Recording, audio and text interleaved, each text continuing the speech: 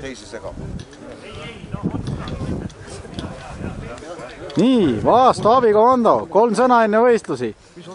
siin on tegelikult on see lugu. märjalt edasi. märjalt edasi, printslas käib.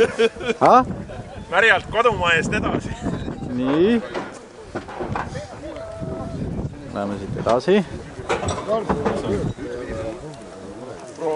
nii, Rapla komando, kolm sõna enne võistlust. mul on selg haige. esikoht on teada juba. esikoht, nii. ja teie arvamus? esikoht kindel, mis pole varianti. kohe. bikiinivoor olema meile öeldi. kohe. davai, näidake mulle bikiinivoori. mis on leerutanud mul siin? tere, kes tahtis teha bikiinivooru?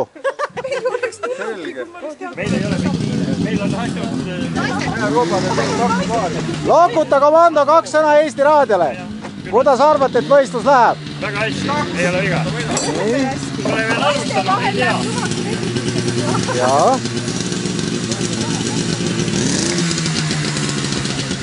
Eno, kuidas sina arvad, kuidas võistlus kulgema hakkab? meie naised tulevad esimeseks. arvad jah? okei okay.. kes meil daamal veel seal on? Läheme ligemale.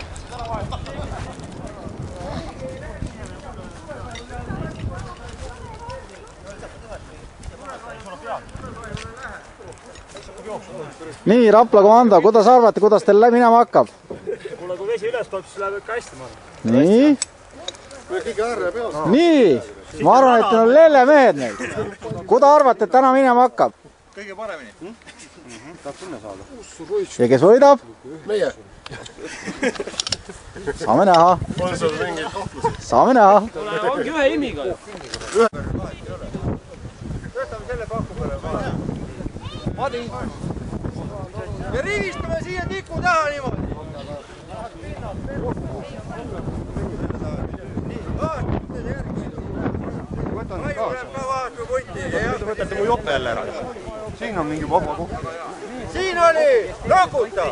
ei olnud, kuues, viies oli veel kes? Rakuta naised.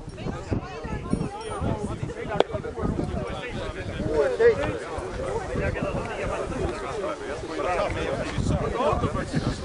okei, vot. no davai siis, kuues, seitsmes, mis te siin mägutate, mis te tahate? Rakuta mehed, no üksteise taha siis, Rakuta mehed.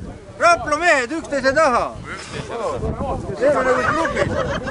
nii, keegi ette, me ei paista mitu tagant välja. Laukna ja Märjamaa tuleb siia viiendaks.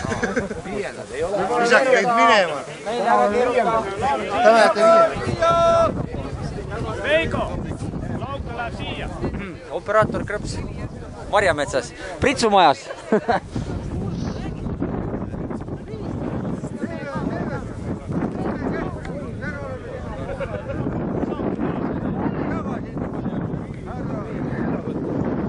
kuule, Ress, kus siin olla tohib? kus kõige parem vaadata?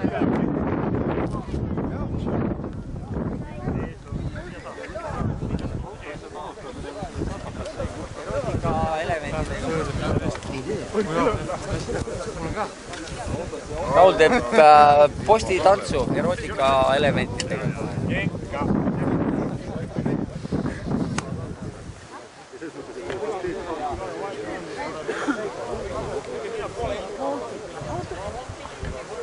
Maarma ära, Vilja.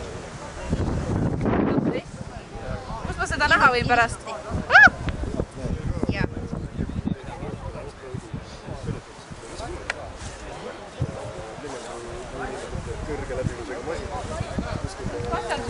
järgi.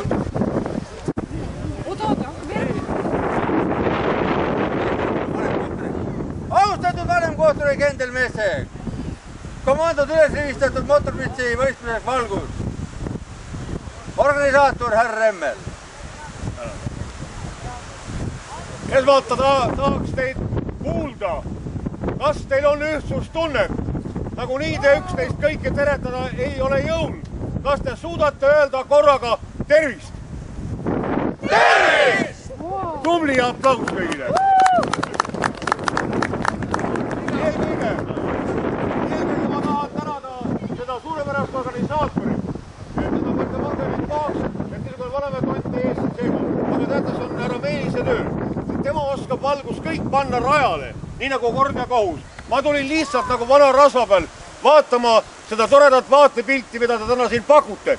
aga kus tema? ütleb, tule ja seisa selle koha peal, kus ta pole varem kohtunik. no kujutage ette, eks ole.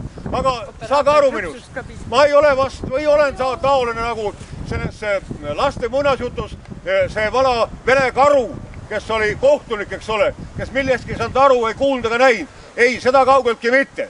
vanarasv on olemas, elame veel, aga tore on teid näha ja, ja tänane kokkusaamine teil vast on selle nimel, et te näitaksite näitaksite, näitaksite siin valgu sellel platsil, kui suur on pritsumeeste ja just nimelt pritsumeeste ühtekuuluvuse tunne teie nimel, sellepärast et teie olete alati esimesed, kes jõuavad sinna, kus on kõige raskem.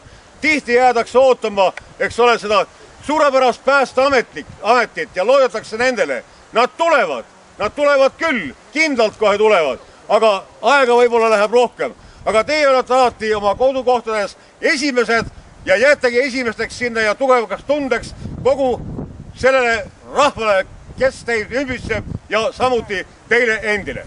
täna aga siin ma soovin teile kõigile tugevat tunnet. võistlust kui niisugust ei ole, see on see, eks ole, et kui te jõuate ju kuskile, eks ole, kõige halvema koha peale, kus see tuli on võtt võimust, sest teadme, teame ju ikkagi, et tuli on maru hea peremees aga paganama kehv sulane. Ja sellepärast tuleb seda, seda, seda sulast ohjeldada.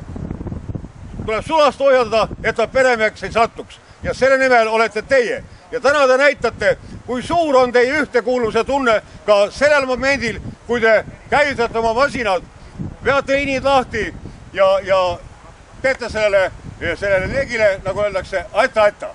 aga eelkõige veel, enne seda, kui läheme võistlusrajale masinatega, on veel üks võistlusala, kaks õigemini, kui kolmas õnnestub. tähendab, teine on see, et ega igal sellisel situatsioonil tekib ju probleeme. küll mis ega ei oleks, esmaabid ja, ja, ja üksteise abistamine ja nii edasi, nii edasi ja jällegi samane ühtekuuluvuse tunne. nii et esimene võistlus kavaks või võistlus selleks momendiks jääb see jah, siin kümme korda kuuskümmend juhendab teile muidugi jälle härra Meelis, nii et teile kõigile tugevat tunnet ja head tahet tegutsemisele, olge tugevad! tänan! kui läheb stardiks, jaga, tähendab jaga joatoru. võtab pooliku rulli, viib sinna plate ja kanderami vahele. teine võistleja sealt ühendab pooliku kolmiku või jagajaga ja tõstab kolmiku või jagaja paku peale ja jookseb siia. siit kolmas võistleja paneb riidesse paku juures ja jookseb kanderaamile, ühendab jaga joatoru voolikusse ja jätab selle sinna maha ja viskab kanderaami peale pikali. kaks võistlejat tulevad, võtavad kanderaami pealt mehe, aga ennem on seal maas nüür, teevad ümber jala seasõra seasõrg peab olema ümber jala. ei tee niimoodi, vaid niimoodi, kuidas käib.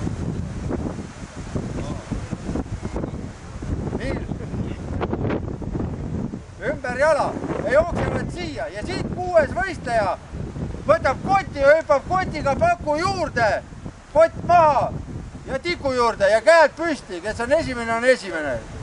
Arusaadav. teine ala, mootorprits. start on seal kus need voolikud maas on, stardiliin.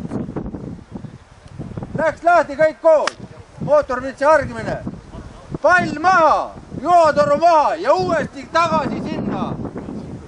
üles rivistus. kes on esimene, on esimene, käed püsti. rivistus on seal selle stardijoone juures. Lasi palli maha, voolik maha ja tagasi. ja kolmas ala kõik mehed peavad mahtuma siia sapikasse. kuus meest. aga see on aja peale juba? see on aja peale, see on aja peale. siit läheb start lahti. kuus meest